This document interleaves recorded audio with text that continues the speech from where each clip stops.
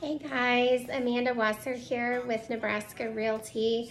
I just wanted to put together a quick video to go over the current market stats for July 2022.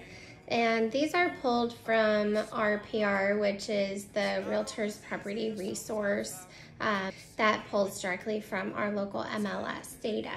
So I wanted to go over most of the questions that people ask me when I run into any friends or see family is how's the market? So I wanted to give you a quick snapshot of that. Um, consumers do have a lot of questions about the current market and the media does little to instill confidence in buying or selling real estate. And really, are you going to make one of the biggest financial decisions of your life based on information from a national news outlet?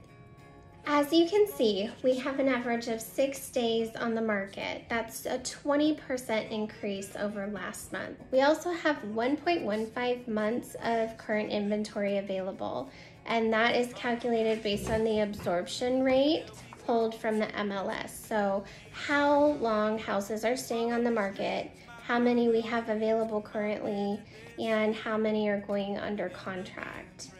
Right now, the average list to sold price is 101.8%. So houses are still on average going under contract for more than what they were listed at.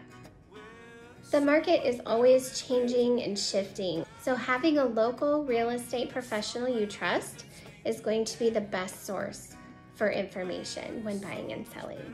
I hope that you reach out to me and feel comfortable to ask any questions that you might have regarding the local real estate market. I'm always available. Call me, text me, or tune in. See you soon.